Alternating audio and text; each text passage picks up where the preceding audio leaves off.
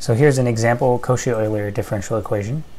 Uh, and it's a full initial value problem. So I've got the differential equation and two initial conditions. And the initial conditions are uh, specified at time 1 rather than time 0. Um, like I mentioned last time, there, there's some problems with time 0. So the problems are definitely clear when you look at um, like this kind of in case 3. You have ln of t. You can't take ln of 0. Um, so that's that's pretty clear. Case 2, you've got ln of t. You can't do ln of 0. Case 1, it's not as clear that there's a problem, but uh, typically, like, um, for example, if the m's are negative, you wouldn't want to look at 0 to a negative power, right? That would be like dividing by 0. So there, there's just generally a problem with t equals 0. Um, yeah, so that's the reason the initial conditions are moved, shifted a little bit.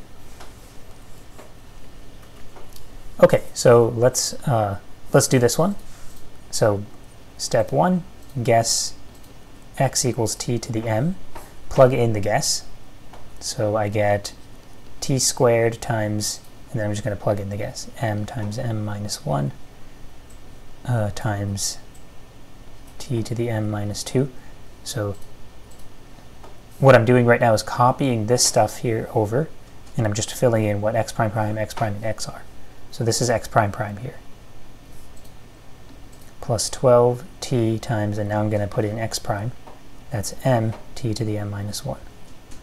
Plus 9 uh, t to the m. And that's just x, what I'm putting there, equals 0. And uh, then an overall factor of t to the m can be divided out, like we saw in the general setup. So you're just going to get m, m minus 1, plus 12m plus 9 equals 0. Uh, then simplify a little bit. So this is m squared minus m plus 12m plus 9 equals 0. So m squared plus 11m plus 9 equals 0. So then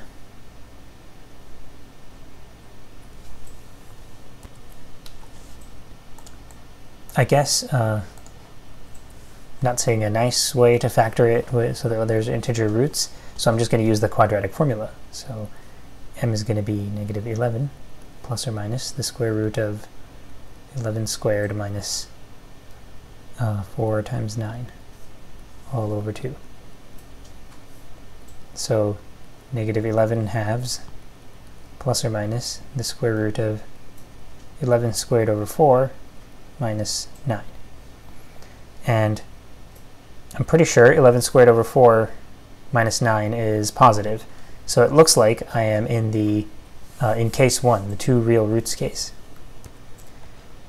So let me just call one of the roots m1 and the other one m2. So I've got m1 equals this, and m2 equals the, uh, let me just be lazy and copy paste. That. Okay. And then my general solution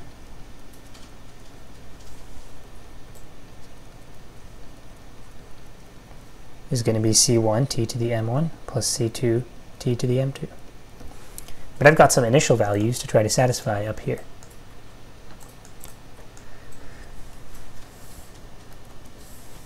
So uh, those are all about x of 1 and x prime of 1, right? So one of my initial values is 2 should equal x of 1. Is that what it was, 2? Yeah, 2 should equal x of 1. And what is x of 1? So let me plug in 1 in here for t. I just get c1 plus c2, right? no matter what no matter what m1 and m2 are, t to the m1 is just going to be 1 if t is 1. So okay, so the sum of c1 and c2 is 2. And then for x prime of t, um, what was that one? x prime of 1 is 0. So I'm supposed to get 0 equals x prime of 1 equals, okay, but I can, there's no way I can just compute x prime of 1 without making mistakes. I should compute x prime of t first. that's c1 m1 t to the m1 minus 1 plus c2 m2 t to the m2 minus 1. And now I plug in 1, and I get c1 m1 plus c2 m2.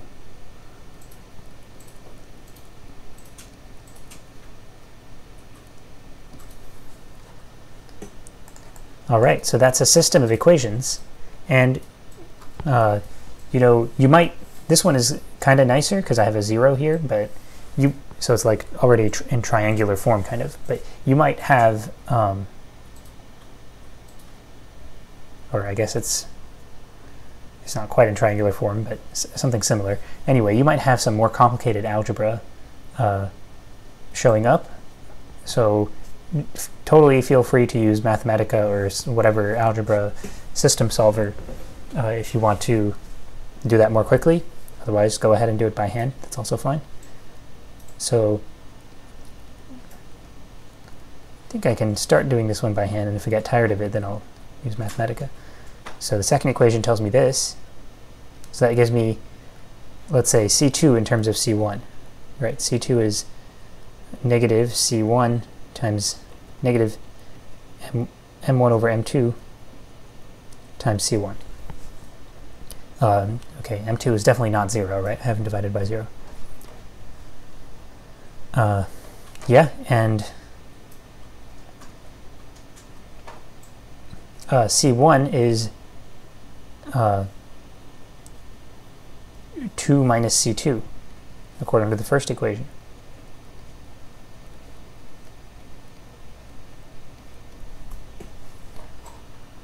All right. So notice I, I'm just leaving the variables m1 and m2 as being m1 and m2 because I don't want to I don't want to rewrite this stuff all the time. Um, I notice sometimes when I'm looking at students' work that they they like to just rewrite things a million times. Or for example, like instead of writing 11 squared over 4, they would like compute what that is. But who cares about that, right? You can just type 11 squared over 4 into WebWork and that will be fine even. And you don't have to rewrite things so many times in your work. Just give them names and then use the names.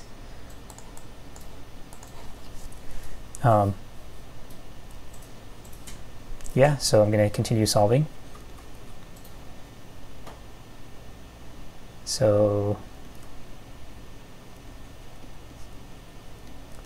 that times 2 uh, plus m1 over m2 c2 so then I'm going to subtract that to the other side, and I get 1 minus m1 over m2.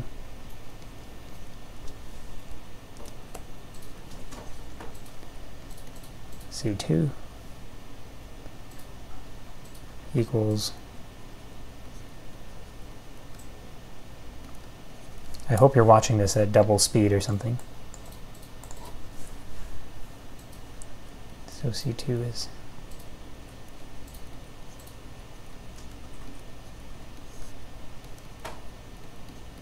And there's a nicer way to write this. Oops. Uh, I think if I just multiply numerator and denominator by m2, probably it'll look nicer. Um, and I can put the minus sign in the denominator. So, okay, let me do that one at a time. So minus m1 times 2 all over m2 minus m1. And then let me flip it around. And see, uh, another thing is if you if you put in, if you didn't just keep them named M1 and M2 during your algebra work, and you put in these nasty expressions, you would never notice a lot of nice, you would never get the chance to rewrite things nicely, right? You would just get stuck typing in a giant thing at the end. Okay, so 2m1 over m1 minus m2. Okay, so that's C2, and then C1, well, my easiest way to describe how C1 is related is that C1 is 2 minus C2.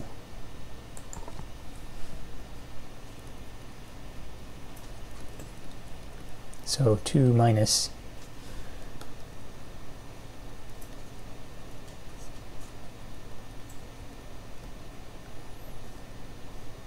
and this is uh, I bet there's a nicer way to do this.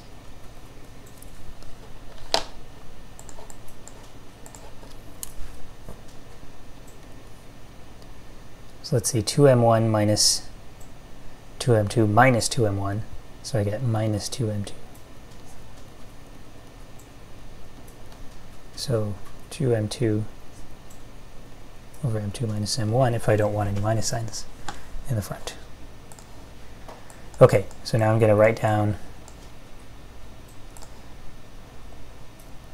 yeah, I mean, I have my particular solution basically. So how about I just put it into Mathematica, test that it's correct, um, and I'll plot it and see what it looks like. Okay. So let me start by just typing this in.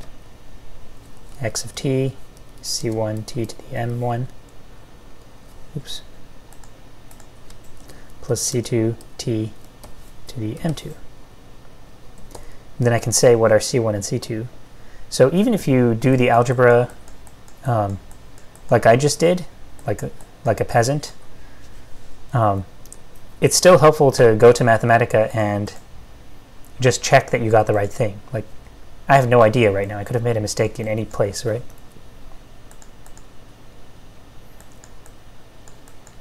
So there's a saying that you should never compute anything unless you already know what is the answer.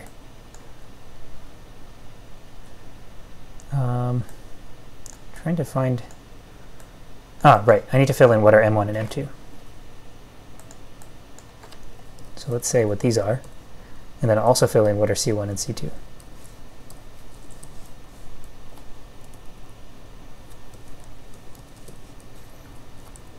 So I've got minus 11 halves plus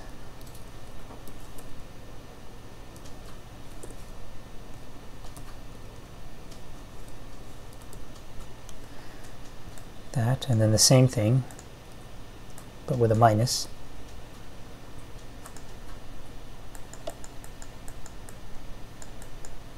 And if I can find what I got for C1, ah, 2M2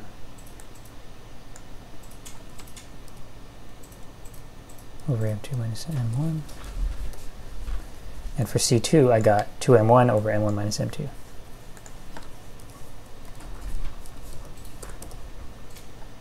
Okay.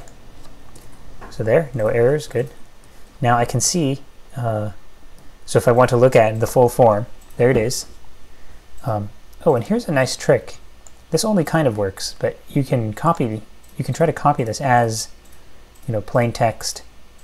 Or if you copy it as LaTeX, you could actually uh, put dollar signs around it and paste it into Nectar and it'll typeset it nicely like this. If you copy it as plain text, it'll give you something you can almost type into WebWork, but you'll probably have to change the formatting a little bit.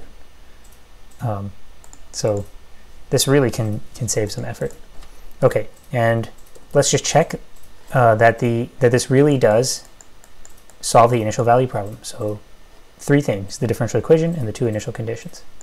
So let's try the initial conditions first, not x of 0, x of 1. Well, that doesn't look like 2, but Maybe if I simplify it. Okay, great, that is 2. And then x prime of 1, that is 0. Amazing, that algebra was correct. I'm kind of surprised. So, and finally, let's check the differential equation. So t squared times x prime prime of t plus 12t x prime of t plus 9 x of t. And it's all this stuff. Now imagine doing this by hand, trying to check that it solves the differential equation. Now I can simplify that. Please be 0. Yes. Okay, now I can plot it confidently knowing that it really solves the original differential equation. Let's do t running from 0.01 to 5. I don't know. Okay, cool. 10. Yeah, so that's interesting that it's kind of shooting down like that. So I wonder what are M1 and M2? So all I did was I left them kind of in this in this form, right? So I wonder what they are. So if I look at M1, it has this form, but like what what is a decimal approximation for that? Okay, it's some negative number. So definitely, so this is why I'm, I'm not starting it at t equals 0. If I put in 0, well, it doesn't complain, but it probably, you know, here's what will complain. If I just do x of 0, we've got uh, indeterminate. It's dividing by 0, basically. Yeah, and are they both negative? Yeah. So it explodes at t equals 0. Yeah, more. So this one is actually not that interesting to look at the plot because it ended up in case 1, right? The, the really interesting ones, I think, are these ones. And uh, there, there should be a picture of that in the textbook. Uh, yeah, here it is. Stuff like this is what you end up getting, where it's like oscillating, but you know, as you send t closer and closer to zero, ln starts, uh, you know, changing more and more dramatically, right? Or becoming more and more negative, exploding down towards negative infinity, basically. And so, uh, as you go, as t goes closer and closer towards zero, the radian angle that's being put in here is just blowing up. And so, what does sine do in response to a blowing up radian angle? Is it just keeps oscillating more and more. So you get these oscillations towards the origin.